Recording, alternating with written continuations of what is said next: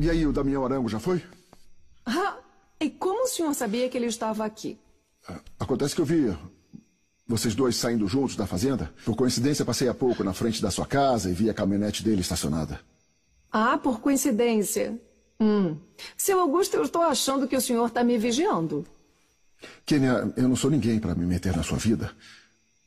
Mas o meu conselho é que se afaste dos Arango. A diversão deles é destruir a vida dos outros. Veio a essa hora para me dar um conselho? Ou para verificar se o Damião foi embora da minha casa? Está bem, eu admito. Estou com muito ciúme. Ah, ciúme? Mas por quê? O senhor não tem por que estar com ciúme. Pois é, mas estou. E você sabe por quê, Kênia? Eu gosto de você. Eu te adoro, você me deixa louco. Eu, eu quero você. E quero você para mim.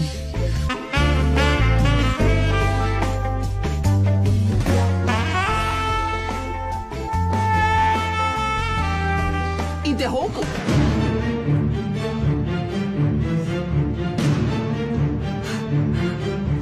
O que está fazendo aqui?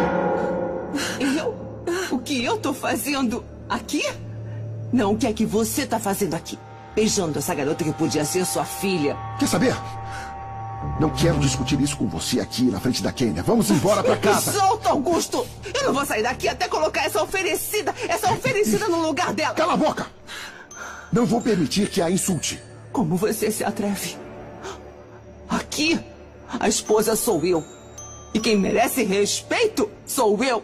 É claro, assim como a senhora respeita o seu marido quando beija o Paulo. Isso foi um mal entendido que já resolvi com o meu marido. Eu não tenho nada a ver com o Paulo. E o que você e a Elisa viram na fazenda foi aquele imbecil tentando me beijar à força, você sabe. Olha, pelo que eu falei com ele, esse relacionamento foi mais do que um beijo roubado. Eu poderia até jurar que o Paulo tá apaixonado pela É senhora. melhor calar a boca, porque eu não vou permitir que ainda por cima faça intrigas contra mim. E é evidente que tudo que você quer é criar conflitos entre mim e o Augusto para nos separar. Calem-se as duas! Kênia, me perdoa. Foi um erro. Não vai se repetir. Vamos embora. Não me Vamos toca! logo! Não se atreva.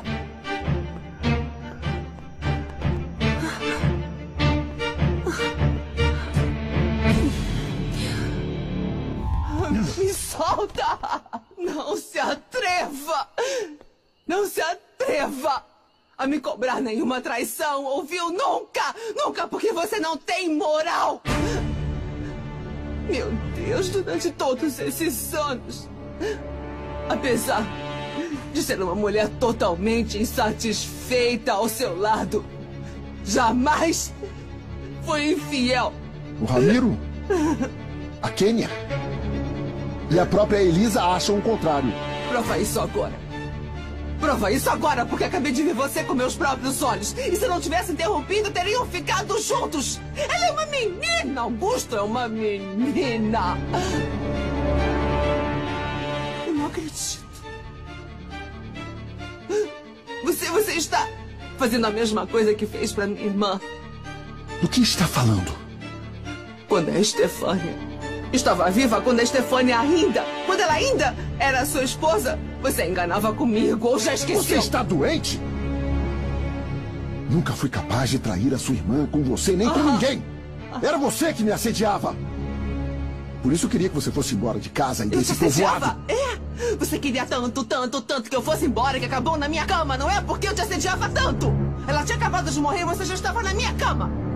Então é você, é você que não tem respeito, não tem decência, não teve pelo Stefania e nem tem por mim. Quer saber?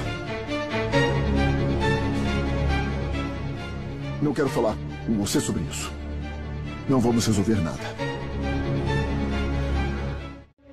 Amor que vive, amor.